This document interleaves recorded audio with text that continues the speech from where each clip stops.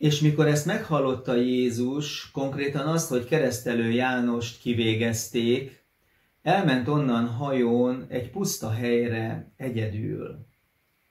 Máté evangélium a 14. fejezetének 13. versének a felét idéztem, egy kis igerészlet ez, de betekintést nyújt abba, hogy Jézus Krisztus hogyan élte meg a gyászát. Annak az embernek az elvesztése során, akiről azt olvassuk, hogy asszonyoktól születettek közül nem volt nagyobb, keresztelő Jánosnál. Igen, olvashatunk a Bibliában egy Illés profétáról, Elizeus profétáról, sok igaz és szent emberről, de azt írja a Szentírás, hogy keresztelő Jánosnál nem volt nagyobb ember, akit a föld a hátán hordott. Viszonylag történetiségben keveset tudunk róla, de ha ezt állítja a Szentírás, akkor ez minden bizonyal így is van.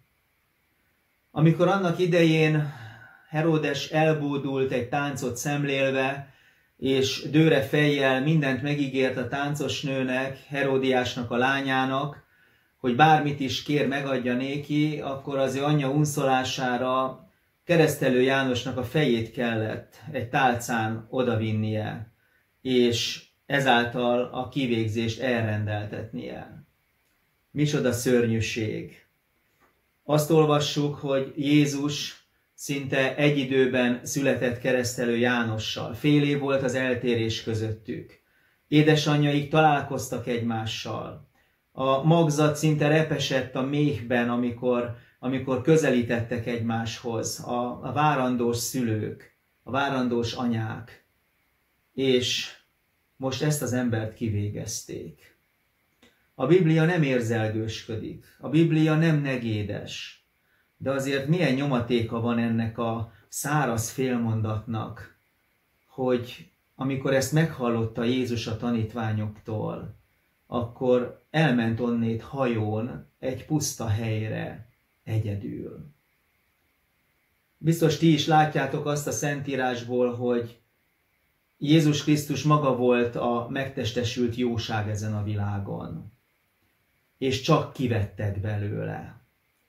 Amikor egyszer azt olvassuk, hogy valaki neki akart szolgálni, és, és, és az ő, ő hódolatát, szeretetét ki akarta fejezni, a bűnös nő, amikor megkente Jézusnak a lábát, már azonnal ezt is el akarták venni Jézustól. Még ezt a kis lelki-testi felüdülési pillanatot is.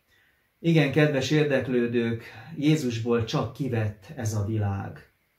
És most, amikor az egyik legnagyobb ütést kellett elszenvednie, hogy az ő barátját, útkészítőjét erőszakos halállal illették és kivégezték, akkor egy egy egész kis résen betekinthetünk Jézusnak a lelki világába.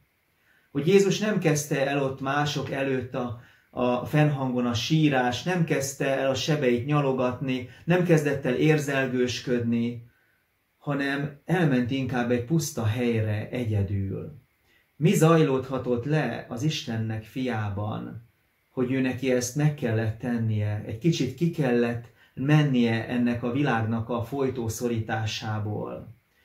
És azt olvassuk, hogy amikor a sokasság ezt megtudta, hogy Jézus elment egy puszta helyre egyedül, már azonnal gyalog követték őt, és bizony Jézusnak csak az a pici időkülönbség jutott egyfajta szent magányra, amennyit egy hajónak a sebessége és a gyalogos, a gyalogos forgalomnak közötti különbség időkülönbség adott meg neki.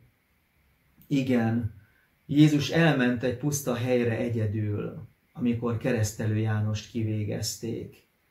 Hogyan élhette át ezt a gyászt? Hogyan tudta magát ezen túltenni? És aztán mit olvasunk? Azt olvasunk, azt olvassuk, hogy amikor a tömeg utolérte őt, akkor Jézus reájuk tekintett és megszánta őket. Azt is olvassuk, hogy olyannak látta őket, mint a, a nyájat pásztor nélkül, mint a pásztor nélkül való juhokat, és szolgált nékik. Miért tudott Jézus azonnal szolgálni nékik egy ilyen iszonyatos, általunk sokszor, hát gondoljunk bele, elviselhetetlen gyász lenne, ami számunkra ez. Azért, mert Pálapostól együtt ő is tudta, hogy Istenben mindenre van ereje. Isten megerősíti őt.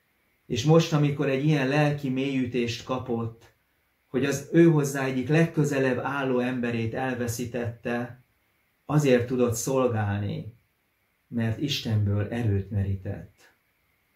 És legyen ez a mi számunkra is egy tanács, egy követendő példa, hogy jöjjön az életben bármilyen nehézség, bármilyen probléma, fohászkodjunk Istenhez, mert nekünk mindenre megadja az erőt az Isten, és meg fog minket erősíteni. Egy ellenséges és idegen világban élünk, a menny küldötteiként, hiszem, de ha fájdalom ér minket, menjünk el egy kicsit egy puszta helyre egyedül. Rendezzük a mi lelki életünknek a sorait, aztán utána menjünk vissza, mert dolgunk van. Hát ennek jegyében szeretném, hogyha szép napotok lenne, gondolkozzatok el ezen, és forgassátok a szívetekben ezt az igét. Felolvasom még egyszer, vagy mondom még egyszer.